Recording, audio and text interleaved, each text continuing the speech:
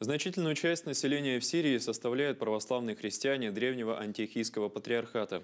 В связи с непрекращающимися военными действиями в регионе они оказались в огне войны.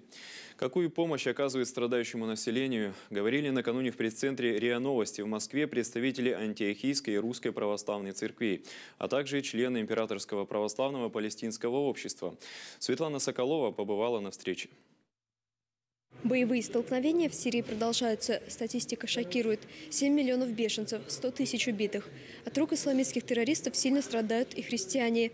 Более трети из них вынуждены были бежать из страны. Боевики террористических организаций, э, прежде Джабхат Ан-Нусра, э, как коршун раздирают эту божественную землю, э, часть святой земли – и вершат здесь самые кровавые злодеяния, убивают, вырезают э, семьи э, целые, религиозные общины, кланы, уничтожают целые города. Императорское православное палестинское общество продолжает оказывать помощь народу Сирии.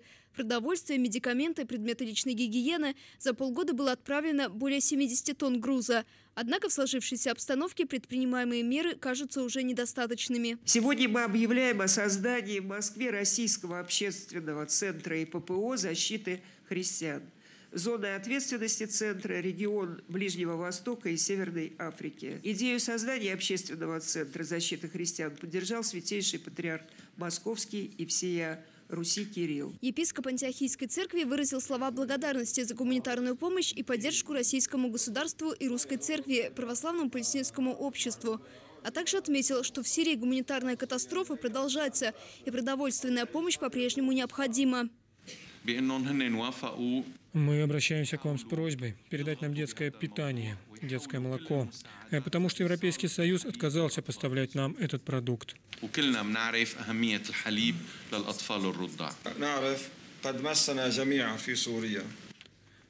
Эта боль, она охватила всех и христиан. Множество церквей, школ, больниц разрушено. Каждый гражданин Сирии испытал это на себе, эти трудности. И у каждого кризис в доме. И почти в каждой семье горе. Либо кто-то похищен, либо семья пострадала.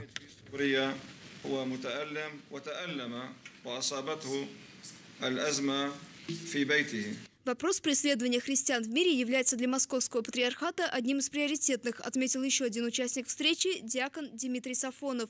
Он рассказал об обеспокоенности русской церкви судьбой похищенных весной этого года сирийских христианских иерархов. Мы сегодня еще не можем реально э, выйти на, э, так сказать, на пути освобождения этих владык, но не успокоимся, пока не освободим их. 60 древних храмов в Сирии уже разрушены. Боевики оскверняют святыни, иконы, кресты, алтари, уничтожают богатейшее духовное наследие этой древней страны.